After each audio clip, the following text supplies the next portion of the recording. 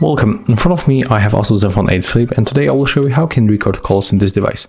So you don't have to even download any external application, you have to simply go for the dialer.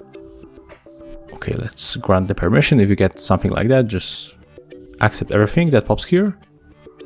Right now tap on the right upper corner and go for the call recordings. As you can see here we got uh, permissions from the sound recorder, so click to act while using the application, click allow, and that's it. Right now when you make a call, uh, the record will be appears here in the call recordings and it will be recorded automatically. So we don't even have to tap on anything. When you make call, the call will be recorded automatically and saved in your dialer call recordings. So that's how it looks. If you find this video helpful, remember to leave a like, comment and subscribe to our channel.